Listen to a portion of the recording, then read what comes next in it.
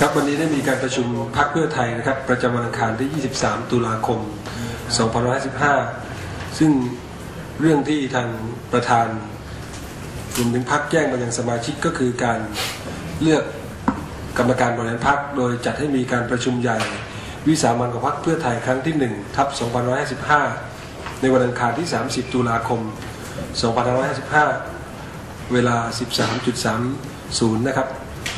ที่ทำการพักเพื่อไทยชั้น 7 นะครับ ซึ่งจะมีวาระการประชุมคือ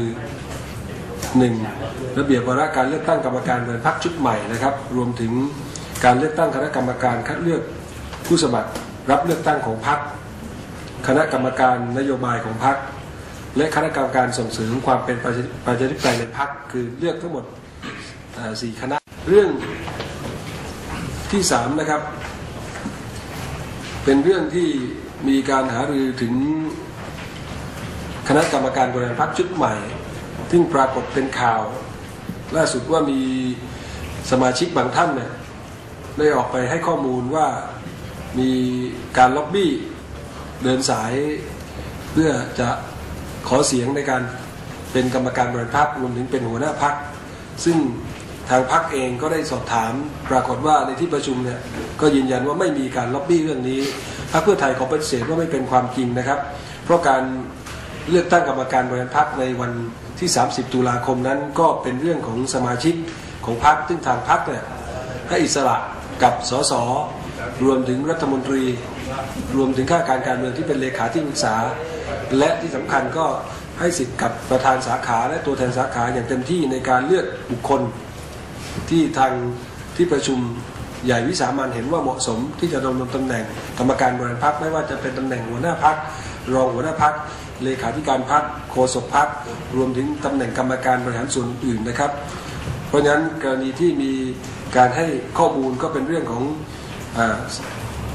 สิทธิ์ของสสมาชิกบางท่าน แต่ยืนยันว่าพรรคเพื่อไทยไม่มีการล็อบบี้ ไม่มีการวิ่งเต้นเรื่องนี้และที่สำคัญ ไม่มีใบสั่งเรื่องนี้จากพันบทโททักษิณรวมถึงแกนนำพรรคเพื่อไทยคนใดคนหนึ่งนะครับไม่มีครับเป็นเรื่องของการเลือกตั้งเป็นไปตาม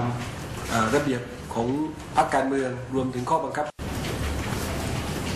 เรื่องสุดท้ายครับเป็นเรื่องที่ที่ประชุมยังหารือถึงประเด็นที่ทางกำกำนันผู้ใหญ่บ้านเนี่ยออกมาเคลื่อนไหว รวมถึงในการที่จะต่อต้านร่างการร่างกฎหมาย เกี่ยวกับการปกครองท้องที่นะครับ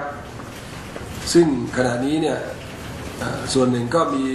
โพลสนับสนุนว่าควรได้มีการเลือกตั้งกำนันกำนันผู้ใหญ่บ้านโดยเฉพาะทางอีสานโพออกมา ซึ่งเรื่องนี้ทางประธานในที่ประชุมได้แจ้งให้สมาชิก ได้ไปทำความเข้าใจกับกำนันผู้ใหญ่บ้านรวมทั้งพี่น้องประชาชน ว่าเรื่องนี้ มีการปล่อยข่าวว่าทางพรรคเพื่อไทยเองต้องการยุบกำนันผู้ใหญ่บ้าน อันนี้ลิงขอปฏิเสธว่าไม่เป็นความจริงนะครับ ทางพรรคเองเนี่ยไม่มีการที่จะไปยุบกำนันผู้ใหญ่บ้าน เพียงแต่จะปรับปรุงกฎหมายฉบับนี้ให้ดีขึ้นและเป็นประโยชน์กับประชาชนให้มากที่สุดนะครับและที่สำคัญก็จะให้กำนันผู้ใหญ่บ้านเป็นที่ยอมรับของพี่น้องประชาชนใน ระบบประชาธิปไตยนะครับ นี่คือสิ่งที่เราอยากให้ทางสสรวมทั้งสมาชิกพรรคไปทำความเข้าใจกับพี่น้องประชาชน รวมเข้าใจทำความเข้าใจกับกำนันผู้ใหญ่บ้านที่เขาได้ออกแถลงการรวมถึง บอกว่าถ้ายังดำเนินการในเรื่องกฎหมายจำนี้ก็จะมาชุมนุมประท้วงในช่วงที่พรรคการเมืองฝ่ายค้านโดยเฉพาะโดยเฉพาะพรรคไปขัดที่อภิปรายไม่ไว้วางใจ เราจึงอยากขอให้กำนันผู้ใหญ่บ้านนะครับใจเย็นๆรวมถึงได้ดูข้อเท็จจริง รวมทั้ง ร่างพรบฉบับนี้ซะก่อนนะครับแต่ผมเชื่อว่านี่คือจะเป็นสิ่งที่จะเกิดประโยชน์กับทุกฝ่าย